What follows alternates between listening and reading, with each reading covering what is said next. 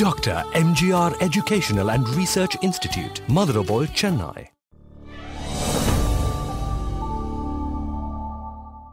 ஆனால் உங்களோட சாபம் தான் எங்களெல்லாம் அட்டாக் பண்ணுதுன்னு நினைக்கிறேன் சார் நூறு நாள் பிக் பாஸ் சாபம் இல்லை. என்னை பொறுத்த வரைக்கும். ஏன்னா உங்கள் படைப்பு வந்து அவ்வளோ வீரியமானது. அதனால் ஒழுங்காக எனக்கு ஒரு பாட்டு எழுதி கொடுங்கன்னு சொல்லி மிரட்டி தான் அந்த பாட்டை என்கிட்ட கொடுத்தாரு. பாடும்போதே எல்லாருமே என்னை பயங்கர கலாட்டம் பண்ணிட்டு இருந்தாங்க. ஓ ஸ்னேகனுக்கு இவ்வளோ ரொமான்ஸ் எல்லாம் கூட தெரியுமா? எப்படியா ஒத்த வரியில எழுதுனாரு இல்லைங்க அது மதுரக்காரிங்களுக்கே உள்ள திமுறை அப்படி தான் இருக்கும். ரெண்டாயிரம் மூவாயிரம் பாட்டுல ஒரு பாட்டு கொடுத்து ஐந்தே நிமிடத்தில் ஓகேயான பாட்டு இது மட்டும்தான். அவங்க அப்படியே கண்ணெல்லாம் கலங்குது புலங்காங்கிறாங்க. அவங்களோட எமோஷனல் அவங்களால இது பண்ண முடியல பண்ணிட்டு இவ தான் இவ தான் மை ஹீரோயின் இவ தான் இவன் கேரக்டர் இவ தான் அதே மாதிரி அந்த பெண்ணோடைய கெத்து. நீ என்னடா வந்து பாடுறா அப்படிங்கிற மாதிரி எங்க ஊர் ஜ அலங்காநல்லூர் ஜல்லிக்கட்டு மாதிரி நிக்கிறாங்க ஒவ்வொரு பார்வையிலையும்.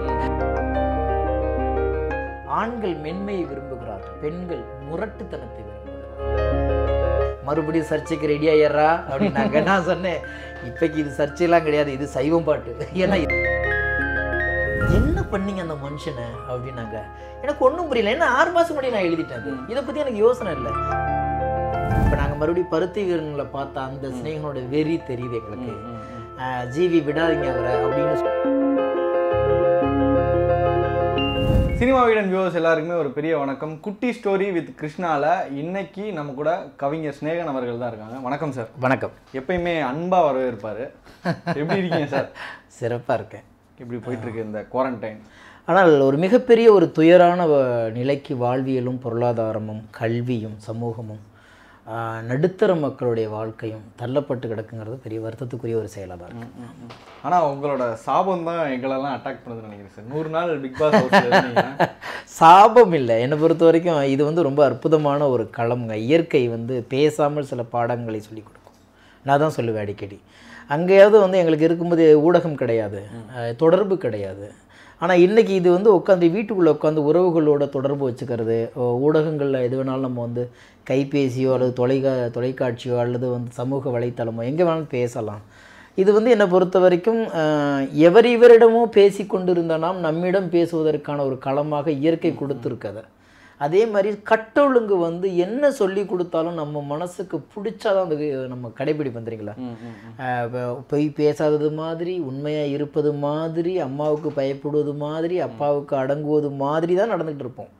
ஆனால் நமக்கு என்ன பிடிக்குமோ அதில் மட்டும் சரியாக இருப்போம். மீதி எல்லாமே மாதிரிகள் தான். அப்படி எவரையவரிடமும் பேசிகிட்டு இருந்த நாம் நம்மளை பற்றி உணர்ந்துக்கிறதுக்கான களமாக இதை எடுத்திருந்தாங்கன்னா நிச்சயமாக அடுத்த தலைமுறைகளுக்கு நிறைய பாடங்களை சொல்லிக் கொடுப்பதற்கான அனுபவங்களை இதில் பெற்றிருக்கலாம். அதை விட்டுட்டு முழுக்க முழுக்க நம்ம வந்து விமர்சனங்கள் அது அடுத்தவங்களை குறை போகிறதுனால இது ஒரு சாபம்லாம் இல்லைங்க. வரம் என்னை பொறுத்த வரைக்கும் வரம். ஓசோன் கூரை ஓட்டையானதுன்னு தெரியும். அது இதனால் வேண்டி இன்றைக்கு வந்து புகை இல்லாமல் அடைபட்டிருக்கு தானாகவே. எத்தனை கோடி லட்சம் மில்லியன்கள் செலவு பண்ணாலும் அடைக்க முடியாத ஒரு விஷயத்தை புகையில்லாத இந்த உலகத்தினால இன்னைக்கு அடைபட்டு கிடக்கு. தூரத்தில் இருந்து நல்லா இருக்கியாப்பான்னு கேட்கறதுக்கு நேரம் இல்லாமல் எஸ்எம்எஸை மட்டும் கொடுத்துட்டு இருந்தவனுக்கு இன்னைக்கு வாட்ஸ்அப்லையும் அல்லது ஜூம் கால்லையும் கூப்பிட்டு பேசிட்டு இருக்கோம் நாய்களுடைய பேர்களை தெரிந்து கொண்டு இருக்கிறோம். பறவைகளுக்கு நம்ம தண்ணீர் வைக்க கற்றுக் கொடுத்துருக்குறோம். இயற்கை ஒரு சின்ன விஷயத்தை அணுகு கொண்டு கூட இவன் பயப்பட மாட்டான் இந்த மனுஷன். ஒரு சின்ன அணு பயம் இருந்தது பாரு ஆஹ் உங்களுடைய பாடல்கள் எல்லாமே நாங்கள் பயங்கர உன்னிப்பாக கவனிச்சிட்டே வரோம்.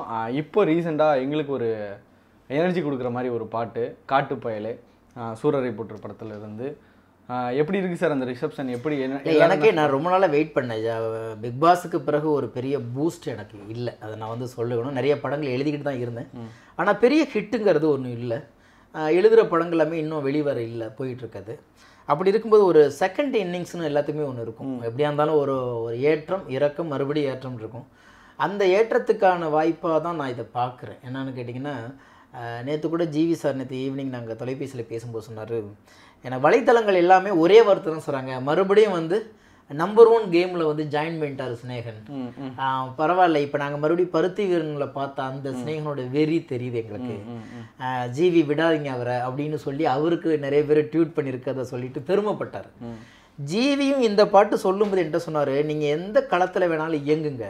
ஏன்னா என்னை பொறுத்த வரைக்கும் உங்களை நான் பார்க்கும்போது பெருமையாக இருக்கும். ஒரு பக்கம் சமூகம் இன்னொரு பக்கம் அரசியல் இன்னொரு பக்கம் விமர்சனம்னு சொல்லிட்டு எல்லா களத்துலையுமே நீங்கள் அப்போது லைம்லைட்டில் இருப்பீங்க. ஆனால் நான் என்னுடைய படங்களில் ஒரு பாட்டாவது ஒரு படத்தில் நீங்கள் எழுதி தான் ஆகணும். ஏன்னா உங்கள் படைப்பு வந்து அவ்வளோ வீரியமானது. அதனால் ஒழுங்காக எனக்கு ஒரு பாட்டு எழுதி கொடுங்கன்னு சொல்லி மிரட்டி தான் அந்த பாட்டை என்கிட்ட கொடுத்தாரு. ஓ ஆமாம் எந்த டைம்ல சார்? இது வந்து நான் பிக் பாஸை விட்டு வெளியில் வந்த பிறகு. ஜிவி அவர்கள். ஆமாம். ஆமாம் கூப்பிட்டு அவரை தான் கூப்பிட்டாரு. கூப்பிட்டாரு. எனக்கு சுதா மேடத்தில் சுக சுதா குங்குரா மேடத்து மீது எனக்கு மிகப்பெரிய மரியாதை உண்டு. அவங்களுடைய முதல் படம் அந்த மாதவன் சார் வச்சு பண்ணாங்க இல்லைங்களா? அந்த படத்தை குறைந்தபட்சம் ஐம்பது தடவை நான் பார்த்துருப்பேன் ஏன்னா ஒரு பெண்மையோடைய உணர்வை ஒப்பனை இல்லாமல் கற்பனை செய்கிற அந்த உணர்வு நிச்சயமாக சுதாவை தவிர யாராலையும் முடியாது. ஒரு மனசுக்குள்ளே என்ன இருக்கோ அந்த பெண்ணோட மனசுக்குள்ளே உரிச்சு எடுத்திருப்பாங்க. இப்படி ஒரு ஒரு கேரக்டர் வந்து வடிவமைக்க முடியுமாலாம் நான் மிரண்டிருக்கேன். சமீபத்துக்குள்ளே இரண்டு மூன்று தடவை வந்து தொலைக்காட்சியில் போடும்போது கூட எல்லா பணிகளையும் விட்டுட்டு முழுசாக பார்த்தேன். ஒவ்வொரு தடவை பார்க்கும்பொழுது நான் நிறைய அழுதுருக்கேன். அவளுடைய உணர்வுகள் அவருக்கு அந்த ரெண்டு பேத்துக்குள்ள அந்த காதல் சம்பவசங்கள் அதெல்லாம் பார்க்கும்போது.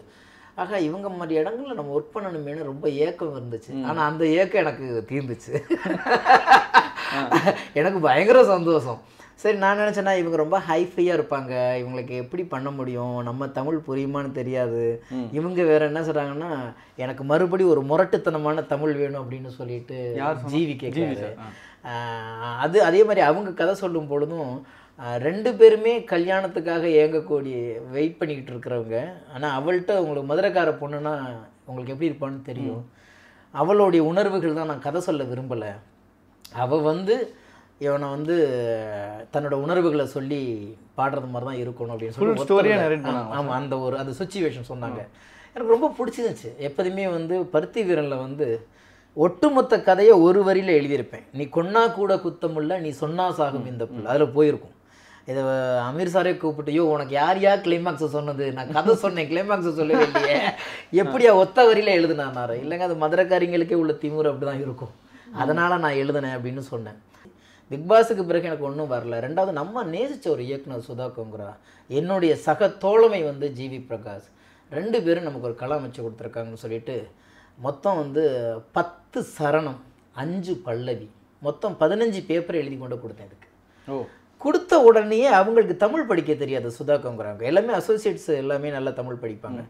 உட்கார வச்சு ஒவ்வொரு வரியும் சொல்ல சொல்ல சொல்ல அவங்க அப்படியே கண்ணெல்லாம் கலங்குது புலங்காங்கிறாங்க. அவங்களோட எமோஷனில் அவங்களால இது பண்ண முடியல பண்ணிட்டு இவ தான் இவ தான் மை ஹீரோயின் இவ தான் இவன் கேரக்டர் இவ தான் all paper is very very good எனக்கு எனக்கு வந்து ஆல் வேர்ட்ஸ் வந்து எனக்கு வந்து பயங்கர திருப்தியாக இருக்குது நான் தொடவே மாட்டேன். நீங்கள் ஏதாவது நீங்களே எடுத்து கொடுங்க. நீங்கள் ஜீவி கிட்ட கொண்டு காமிங்க. ஜீவி பார்த்து பார்த்துட்டு டியூனுக்கு சரியாக இருந்தால் எனக்கு ஒன்றுமே பிரச்சனை இல்லை அப்படின்னாங்க ரெண்டாயிரம் மூவாயிரம் பாட்டில் ஒரு பாட்டு கொடுத்து ஐந்தே நிமிடத்தில் ஓகேயான பாட்டு இது மட்டும்தான். அது பெரிய விஷயம். சார் அவ்வளோ ஹிட் சாங்ஸ் கொடுத்துருக்கீங்க.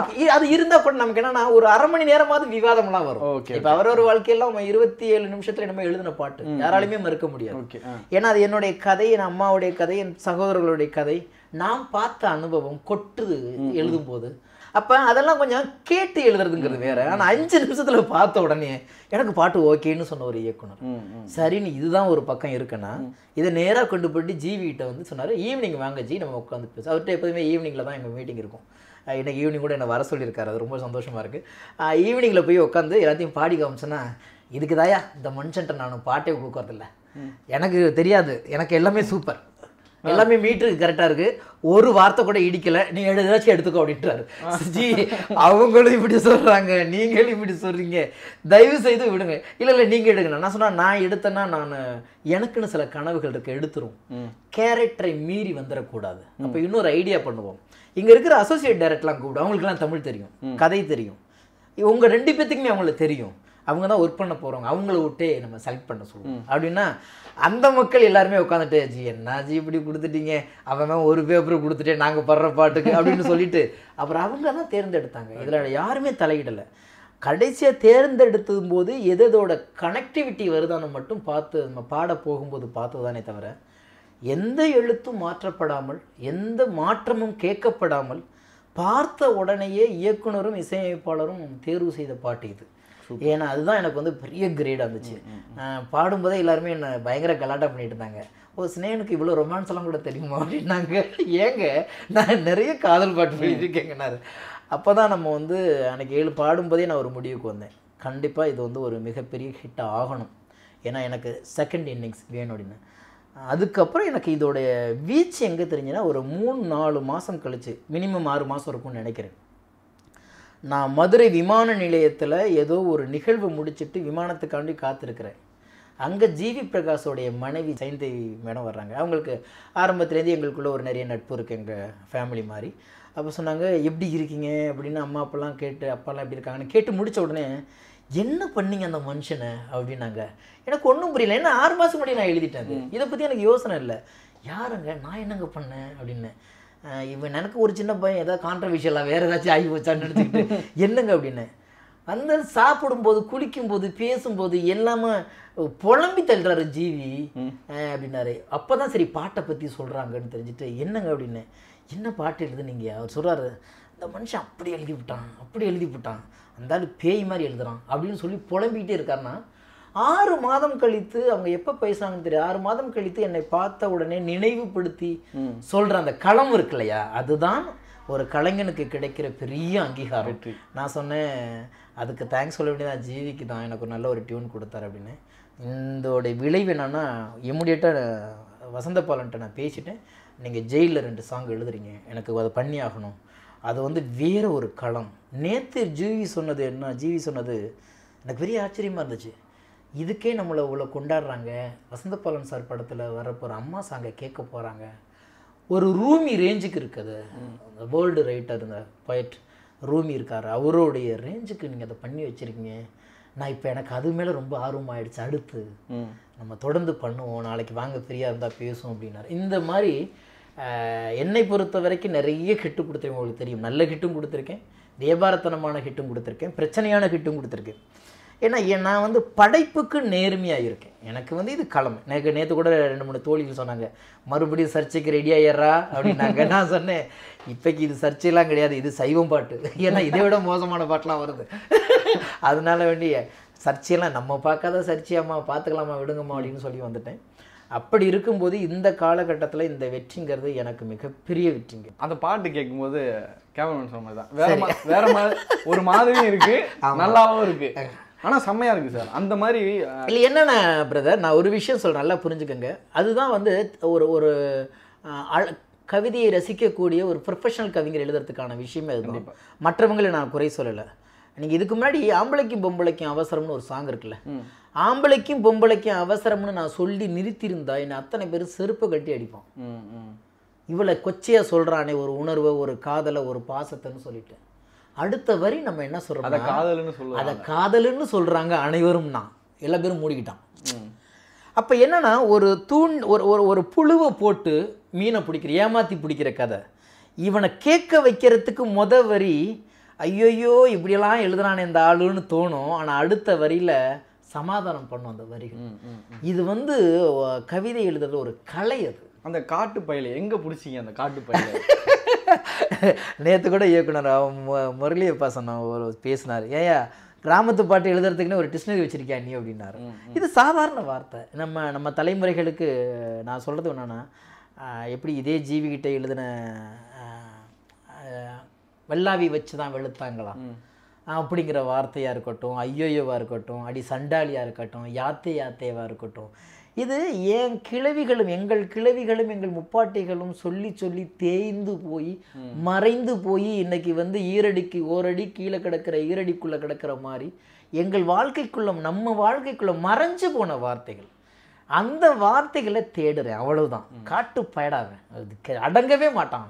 ஏன்னா அந்த கேரக்டர் எப்படி அதில்.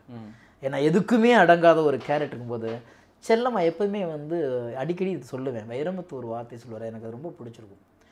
ஆண்கள் மென்மையை விரும்புகிறார்கள். பெண்கள் முரட்டுத்தனத்தை விரும்புகிறார்கள் அப்படின்னு சொல்லியிருப்பார். அப்போ இவனை முரண்டனா சொல்லணும்னா என்னெல்லாம் வார்த்தை பார்க்கலான்னு ஒரு தேடுதலுக்கு போகும்போது தான் காட்டுப்பயிலே நல்லா இருக்கே.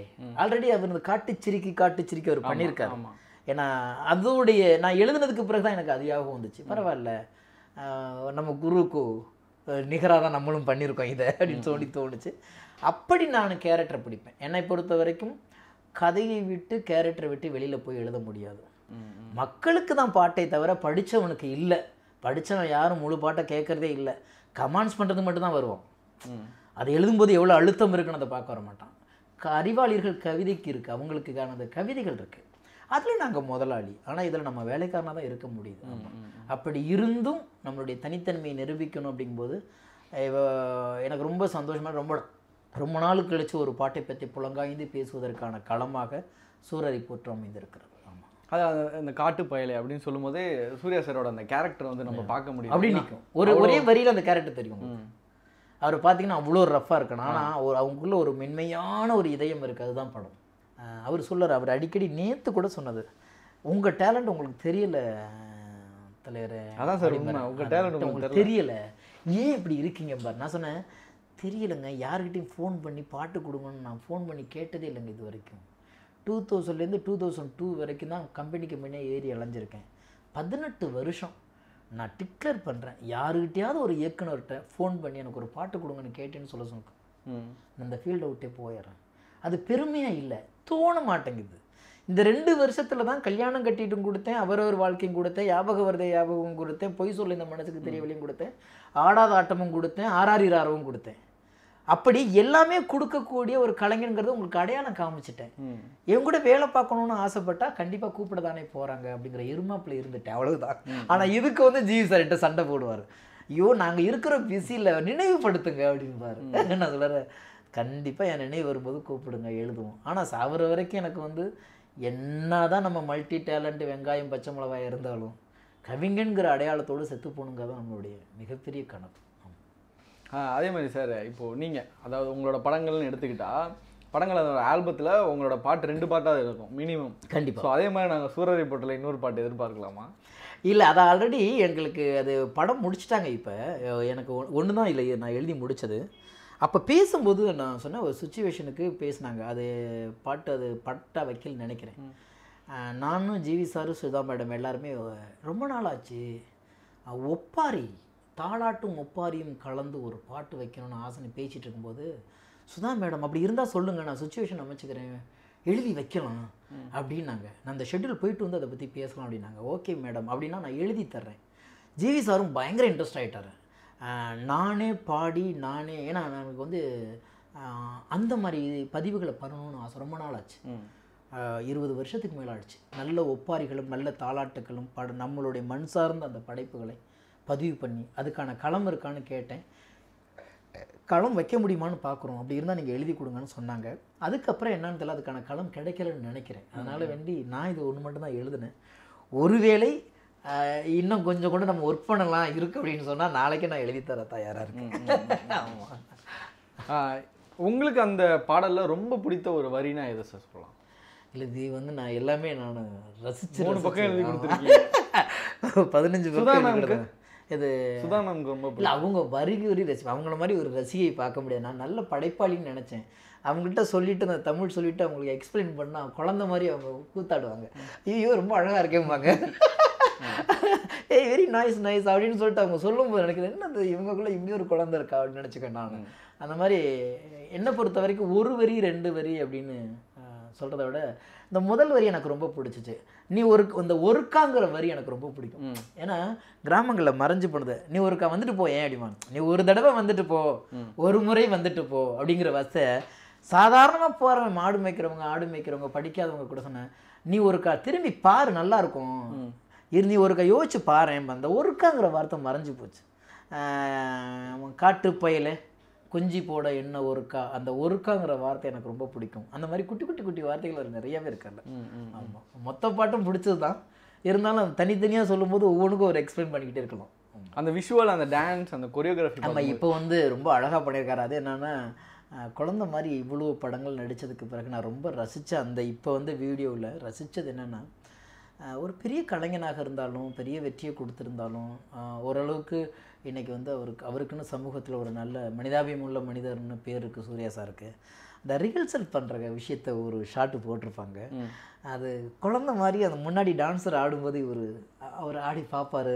மெதுவான ஸ்டெப்பு ஸ்லோவாக போட்டு ஒரு ஆடி பார்க்குற அந்த ஸ்டெப்பை நான் ரொம்ப ரசித்தேன் ஐயோ இன்னும் கற்றுக்க ஆசைப்படுற அந்த மனசு இருக்கு இல்லையா? எனக்கு தெரியும் பார்க்கலாம் அப்படிங்கிறதெல்லாம் அது இல்லவே இல்லாமல் குழந்தைத்தனமாக அவங்க காலையும் அவங்க உடம்பையும் பார்த்துக்கிட்டே இவர் இப்படி ஆடி பார்ப்பாரு. அந்த ஷாட் எனக்கு ரொம்ப பிடிச்சிச்சு நான் அதையே திரும்பி திரும்ப திரும்ப நிறைய தடவை பார்த்தேன். அதே மாதிரி அந்த பெண்ணோடைய பர்ஃபார்மன்ஸ் கெத்து. நீ என்னடா வந்து பாடுறா அப்படிங்கிற மாதிரி எங்கள் ஊர் ஜ அலங்காநல்லூர் ஜல்லிக்கட்டு மாதிரி நிற்கிறாங்க ஒவ்வொரு பார்வையிலையும். அப்போ தான் பார்த்தேன் பரவாயில்ல. காட்டு பயலேன்னு இந்த பொண்ணு சொல்கிறது நியாயமான வார்த்தை. இந்த பொண்ணுகிட்டேருந்து போய் நிலவே மலரே மயிலே மேகமே குளிரே தளிரே எல்லாம் பேசுனா கேவலமாக இருக்கும். இவங்க இப்படித்தான் வீச்சருவா அழகா பே- வீச்சருவா இல்லாமல் வெட்டி சாய்க்கிற வேலு கம்பு வார்த்தையால் குத்தி கிழிக்கிற. இதை ஒரு பொண்ணு பேசுகிறா கொஞ்சம் யோசிச்சு பாருங்க.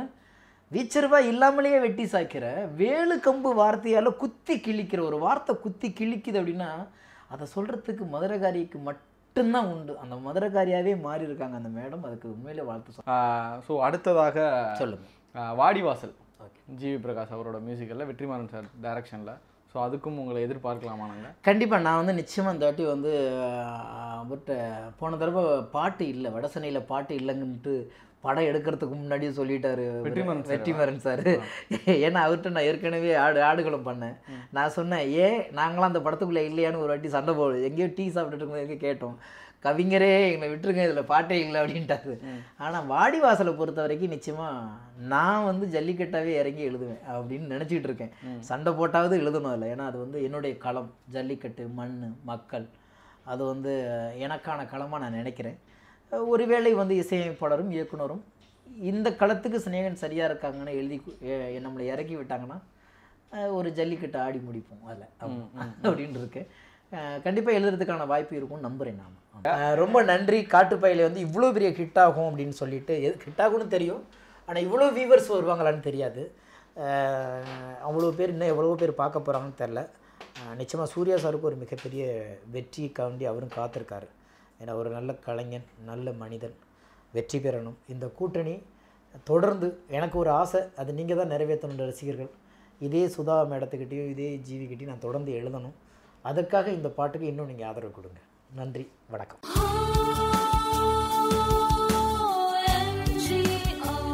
Dr. MGR Educational and Research Institute, Motherabol, Chennai.